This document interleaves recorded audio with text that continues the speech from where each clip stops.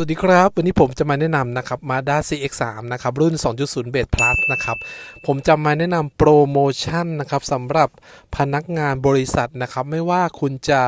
เเงินผ่านบัญชีธนาชาติ กรุงเทพนะครับกสิกร SCB หรือแบงก์อื่น ๆ นะครับ ผมจะมาแนะนำโปรออกรถนะครับ เริ่มต้นที่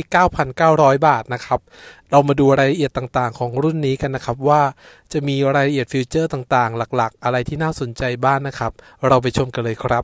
มองจากด้านหลังนะครับ อันนี้จะเป็นท่อคู่ของจริงนะครับ ออกจริงนะครับ ท่อคู่ของรถมาด้านะครับด้านท้ายนะครับ เราจะมีกล้องมองภาพด้านหลังนะครับ บวกกับเซ็นเซอร์ถอย 4 จุดนะครับเรามาดูช่องเก็บสัมภาระนะครับ อันนี้ค่อนข้างที่จะกว้างนะครับ ใส่ของได้ค่อนข้างเยอะ ตัวนี้จะเป็นยางอะไหล่แล้วนะครับ เป็นรุ่น CX3 จะใช้ยางอะไหล่นะครับการพับเบาะนะครับ หรือการเอาตัวกั้นสัมภาระออกก็เอาออกได้ง่ายๆนะครับ เวลามีของสัมภาระกว้างๆก็สามารถถอดออกได้เลยนะครับ เบาะจะสามารถพับได้นะครับ 40-60 นะครับ อันนี้การเอาตัวแผ่นกั้น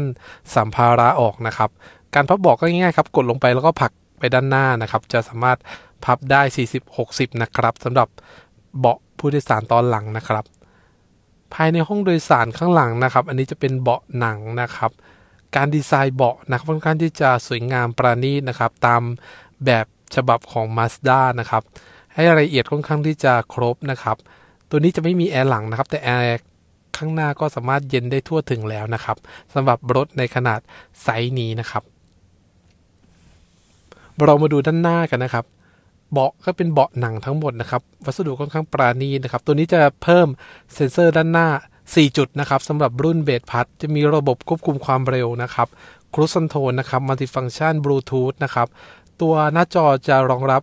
Apple CarPlay นะครับ กับ Android Auto นะครับ ตัวนี้จะมี Wireless Charger แบบไร้สายให้ด้วยนะครับ สามารถเชื่อมต่อ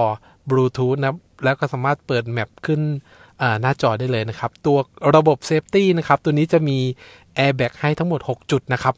รวมถึงตัวด้านข้างด้วยครับที่เบาะคู่หน้านะครับ ม่านถุงลมนิรภัยนะครับ ค่อนข้างที่จะระบบ safety ค่อนข้างที่จะครบนะครับสำหรับในรุ่นนี้ระบบ entertainment ระบบ infotainment ทุกอย่างนะครับ ค่อนข้างที่จะครบหมดอะเครื่องยนต์ 2.0 ลิตรนะครับ 156 แรงม้านะครับ ประหยัดน้ำมันอยู่ที่อ่า15.6 กิโลเมตรต่อลิตรนะครับ อันนี้ค่อนข้างที่จะประหยัดทำได้จริงนะครับ อัตราเร่งดีนะครับ ในรุ่นขนาดรถ compact size นี้นะครับ การวางเครื่องยนต์นะครับ 2.0 ลิตรนะครับ ตัวนี้ค่อนข้างที่จะอัตราเร่งแซงดีครับประหยัดน้ำมันนะ เพราะว่าเราไม่ได้แบกน้ำหนักรถเยอะนะครับ ตัวรถก็คือไม่ได้ใหญ่มากแล้วทำให้การประหยัดน้ำมันทำได้ค่อนข้างดีเลยทีเดียวนะครับสำหรับในรถไซส์นี้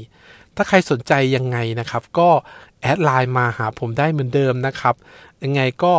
ฝาก ติดตามช่องให้ด้วยนะครับ ขอบคุณนะครับ เราไปชมรอบๆรถกันเลยครับ